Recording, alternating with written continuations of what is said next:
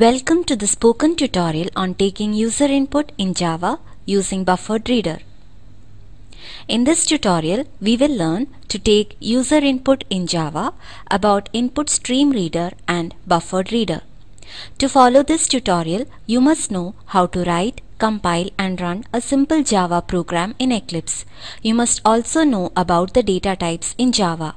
If not, please refer to the spoken tutorial on these topics available at spoken-tutorial.org. Here I am using Ubuntu version 11.10, JDK 1.6 and Eclipse IDE 3.7.0. Now we will learn what a buffered reader is. It is a class in Java which is used to read text from an input stream. It provides efficient way to read array of characters and lines. To make use of buffered reader, we need to import three classes from the java.io package. These three classes are IOException, Input Stream Reader and Buffered Reader. We will learn about packages and how to import classes in the coming tutorials. Now, how is the input taken? All the input that we take from the user will be in the form of string. It has to be then typecasted or converted to the particular data type. We will see that while we write our program to take the user input. Now, let us see the syntax to implement buffered reader. Once you import the three classes, you need to create an object of input stream reader. You also need to create an object of buffered reader. We will learn about this in detail when we write our program. So let us switch to Eclipse. I have already opened a class named input buffered reader. We will begin with importing the java.io package. So type before the class import space java.io.star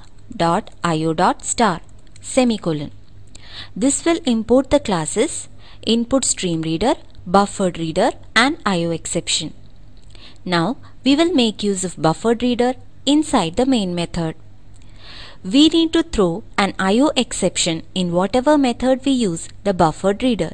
So right after the main method type throws space IO exception.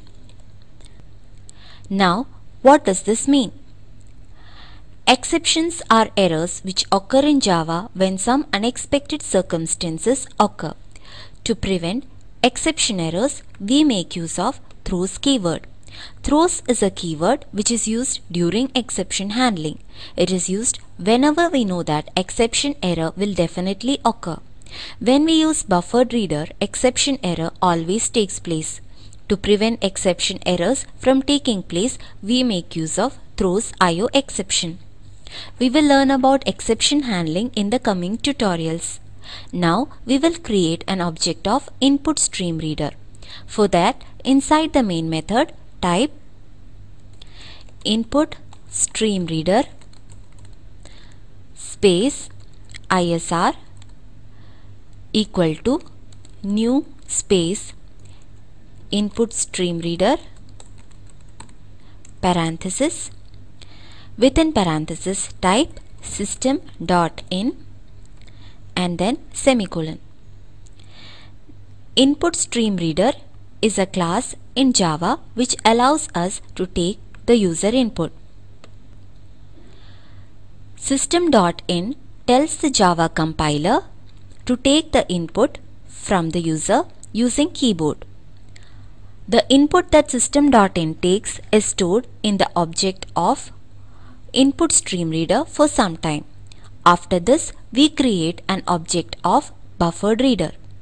So type buffered reader space br equal to new space buffered reader and then parenthesis. Inside the parenthesis, type the object of input stream reader which is ISR. Now ISR only helps to take the input from the user. Buffered reader helps to store the value in the buffered reader object. ISR passes this value to the buffered reader object to store it. Now let us start taking input from the user. We will first ask the user to enter a string. So create a variable of string type. Type string space str semicolon. Now ask the user to enter his name. So type system.out.println within brackets and double quotes enter your name and then semicolon. To take the input as string, we will type str equal to br dot readline parenthesis and then semicolon. Readline method will read the input from the user. Now let us take the input as an integer. Create a variable of type int so type int space n semicolon. Ask the user to enter his age. So type system dot out dot println within brackets and double quotes enter your age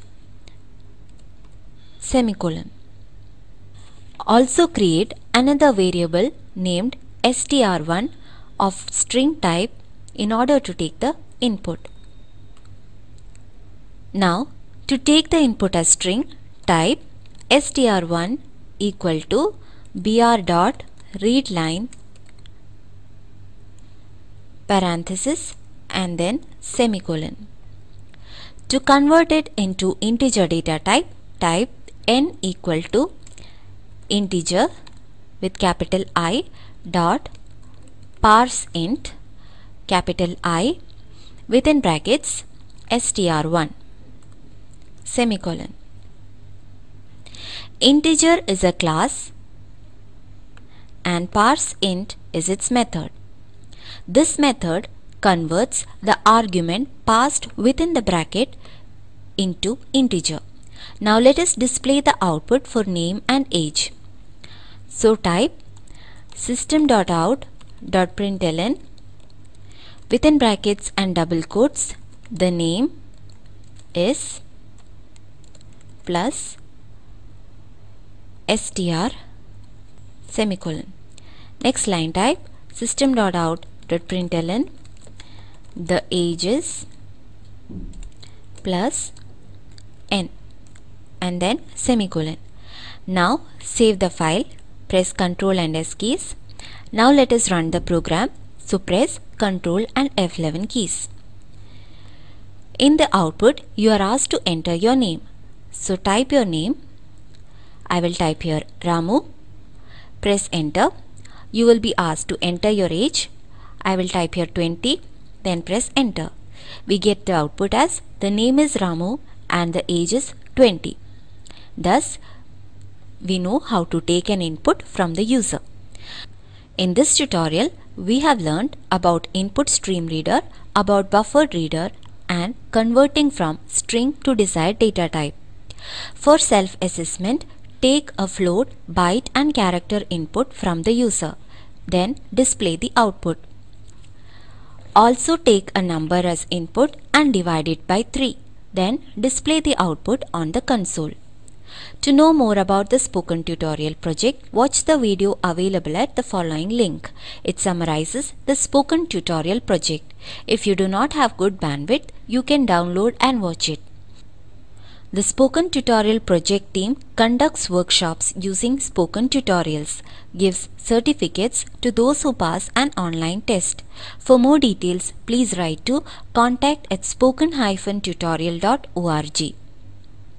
The Spoken Tutorial project is a part of Talk to a Teacher project. It is supported by the National Mission on Education through ICT MHRD Government of India. More information on this mission is available at spoken-tutorial.org slash nmeict-intro. This is Arya Ratish from IIT Bombay signing off. Thank you for joining.